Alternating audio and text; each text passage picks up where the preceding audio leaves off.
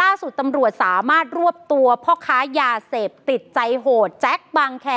ที่ไปรัวยิงเพื่อนบ้านดับ เพราะว่าค้างค่ายาบ้า 400 บาท 400 บาทอืมพี่โชว์ศักยภาพด้วยการนี่ ไปฆ่าเขาเลยรัวแล้วเป็นเพื่อนบ้านกันด้วยนะ ปรากฏว่าอันนี้คือภาพตอนไปบุกจับแต่ เราได้ภาพวันเกิดเหตุมาคุณผู้ชมคะ ช่วงที่แจ็คบางแคมันไปรัวยิงเพื่อนบ้าน หลังจากนั้นค่ะ มันวิ่งหนี แทบจะเรียกว่าวิ่งหนีไปเพื่อที่จะไปขโมยมอเตอร์ไซค์คนอื่นเขาแล้วหนีต่อ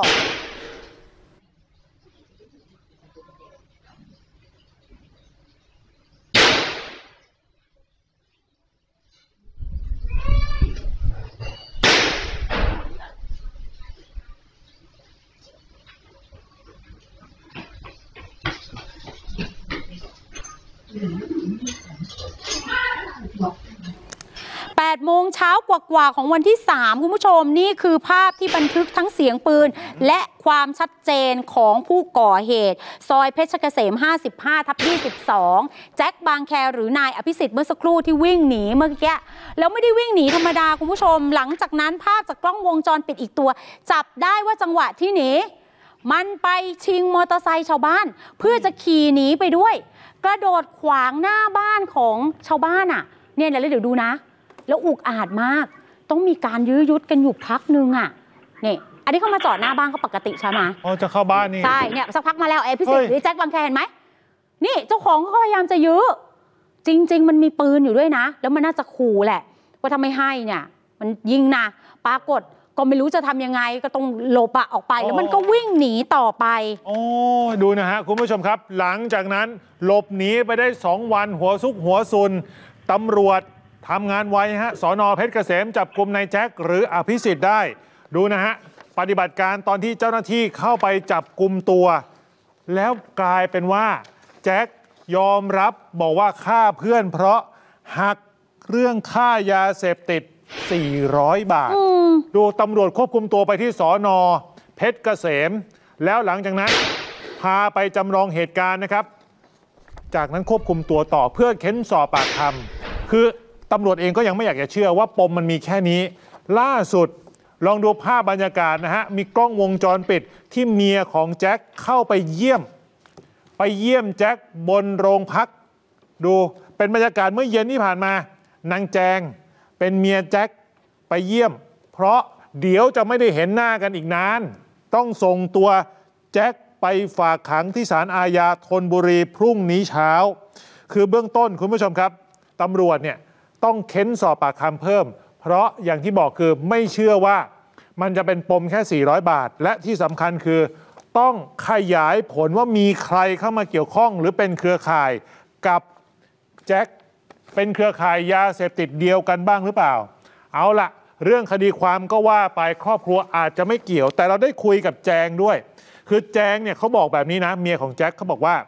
ผัวมีปัญหากับคนตายจริง เรื่องยาเสพติดมีปัญหากันมานานแล้ว ตัวเองเนี่ยไม่รู้หรอก รู้แต่ว่าคนตายเนี่ยเพื่อนข้างบ้านเขาเสพกัญชา แต่เรื่องติดเงิน 400 บาท ผัวก็ไม่เคยเล่าให้ฟังนะ แล้วปัญหาอื่นๆ นอกจากเรื่องยาเสพติดมีหรือเปล่าเขาบอกว่า เคยเห็นว่าแจ็คทะเลาะกับคนตายอยู่ครั้งหนึ่ง แต่ก็เคลียร์กันจบไปแล้ว ไอ้คนตายก็มาขอโทษผัวหนู ก็คิดว่าจะจบไม่มีอะไร ประเด็นเรื่องปืนที่เขาบอกว่าของกลางที่ยึดมาได้จากที่บ้านเนี่ยนะครับ ไม่ว่าจะเป็นปืนขนาดจุด38 ไม่มีทะเบียน ปืนขนาดจุด38 เป็นกระสุนอีก 3 นัด ปลอกอีก 3 ปลอกยาบ้า 106 เม็ดไอซ์อีก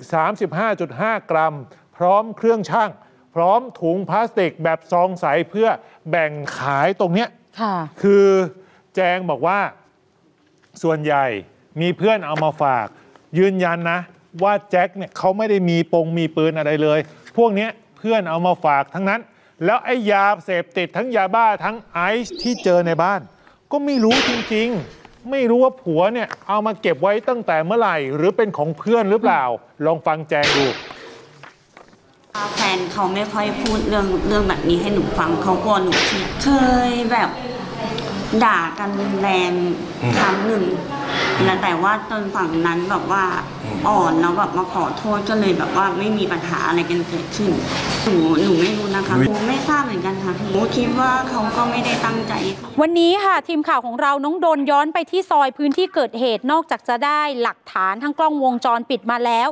ยังเจอกับชาวบ้านผู้เห็นเหตุการณ์ คุณจิ๊บบอกว่า8โมงครึ่งของวันที่ 3 เธออยู่ในบ้าน จู่ๆได้ยินเสียงปืนดังขึ้นถึง 3 นัด วิ่งออกไปดูก็เห็นแจ็คบางแคมันวิ่งหนีออกไป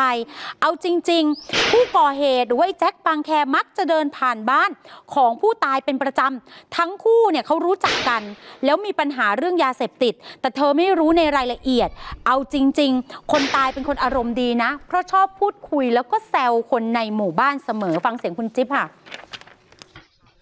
ปืนเสียงดังนะรัวเลยปะก็ไม่รัวดังเป็นระยะห่างก็ไม่เท่าไหร่นะก็ทีทีๆนั่นแหละสามนัดก็คงจะ ไปเลยนั่นแหละวิ่งเขาไม่ได้วิ่งหรอกเขาก็แบบเกิงเกิงเกิงเดินถึงวิ่งประมาณเนี้ย